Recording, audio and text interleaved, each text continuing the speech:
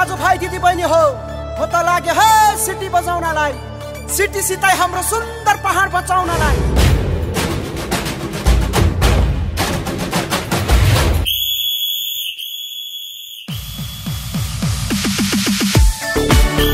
नमस्ते म सुदीप मङ्गर मङ्पु लापा समष्टि युवा मोर्चाको अम, साङ्गठनिक सचिव है। अब हामी चाहिँ अब फिलहाल है अब यो इलेक्सन नजिक आइसक्यो।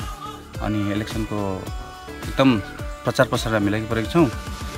र फिलहाल घर अभियानमा एकदमै बिहानदेखिको है बेलुका रात रातिसम्म पनि हामी लागि परिरहेको छौँ।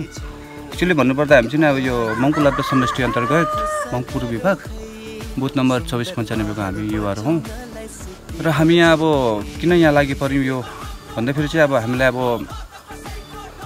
विकास अब है सबैलाई विकास विकास भन्छ अब हामीलाई पनि विकास त चाहिएको छ किनभने अब हाम्रो कति युवाहरू अब त्यसै भौतारिरहेको छ होइन जस्तै अब हामी पनि त्यसमा आउन सक्छौँ। अब विकास कहाँबाट दिन्छ कहाँबाट कस्तो विकास हुँदैछ भन्ने कुरा हामीलाई जानकारी भएको कुरो हो किनभने अहिले फिलहाल पाहाडमा नयाँ सोच नयाँ विचारको धारणा लिएर श्रीमान अनित थापाज्यू अब यहाँनिर आउनुभएको छ। त्यसै कारण हामी उहाँकै छत्रछायामा है उहाँकै निर्देशअनुसार हामी अब लागि परिरहेको छौँ। आफ्नै घर आफ्नै घरको स्लोगन लिएर। त्यही भएर अब उहाँको उहाँको हातधरीले बनाउनु लागि चाहिँ हामी हामी युवाहरू चाहिँ अब लागि परिरहेको छौँ।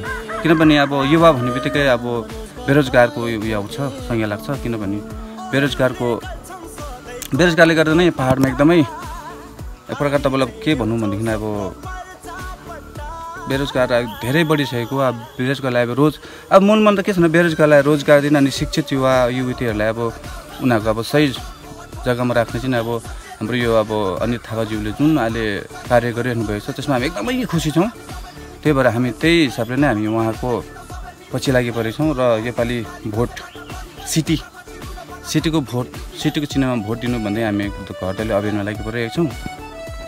त्यसै कारण अब जहाँसम्म लाग्छ कि मङ्पु मङ्पुरमा त भन्नु पर्दाखेरि एकदमै राम्रो नै छ है त्यस्तो कुनै उयो छैन। मङ्पु चाहिँ मङ्पु क्षेत्र एकदमै राम्रो भएको छ। आशा छ अब यसपालिको भोटमा अब सत्र तारिकको भोटमा अब हेर्छौँ सत्र तारिक भोट हाल्छौँ हामी अनि दुई तारिकको दिन अब यसको अब रिजल्ट हाम्रै पक्षमा आउँछ भन्ने हामीले आशा राखेका छौँ। तर गाउँमा यो हाम्रो गाउँमा डेभलप भन्ने चाहिँ अहिलेसम्म थिएन। हजुर हजुर होइन? एक नम्बर यत्रो बाजे मेरो घरसम्म पोल लैयो त्यसमा म एकदम खुसी छु। खुसी छु हो। खुसी पनि छु। र भविष्यमा पनि अब भाइहरू मिलेर गएर पनि कुनै कामहरू निकालौँ गरौँ। हजुर होइन? गाउँको डेभलप बढाउँ। बस यतिमै हामी खुसी छौँ। साह्रो राम्रो कुरा गर्नुभयो मामाले धन्यवाद तपाईँलाई। हुन्छ हुन्छ। चार नम्बर र नमस्कार। म रूपक थापा अ, लकडाउन मम्पू समष्टि युवा मोर्चा चौबिस पन्चानब्बे बुथका प्रेसिडेन्ट।